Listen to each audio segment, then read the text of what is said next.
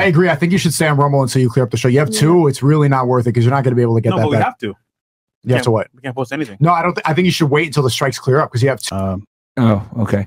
Rumble rants are so much more autistic than the YouTube super chats. It's just like everyone's like, Uh, W Sneako, I'm glad I found FNF through him. Now I'm listening to all the FNF pods at work. Helps me go through the day. "You're Shout you, welcome, Fresh." Yeah, yeah. All the criticisms. Look at me. Well, that was a W, but the strike was an L from you. That's not me. It's your show. Uh, hey, anonymous YouTube engineer. Disappointed with the strike. Then I saw the reason. Please don't do dumb shit like that. I love the show, Chris.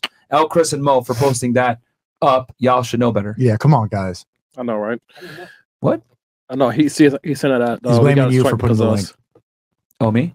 He's blaming Chris and blaming Mo for putting the cozy link. Yeah. No, it's it's not it's not their fault. It's mine. Uh, Martin, please wait six more weeks till the first strike is gone. Better be safe than sorry. You're not really losing anything by posting on Rumble till then. Anonymous YouTube engineer. I agree. I think you should stay on Rumble until you clear up the show. You have two. It's really not worth it because you're not going to be able to get no, that but we back. have to. you have to what? We can't post anything. No, I don't. Th- I think you should wait until the strikes clear up because you have two. He's even after you're able, September. even after you're able to post Oh. again, I would like speak to Chris and then I, w- I would really try to stay on Rumble. I think it's it's worth, and then clean up everything. Look at look at the descriptions. Clean up like look at what happened to me.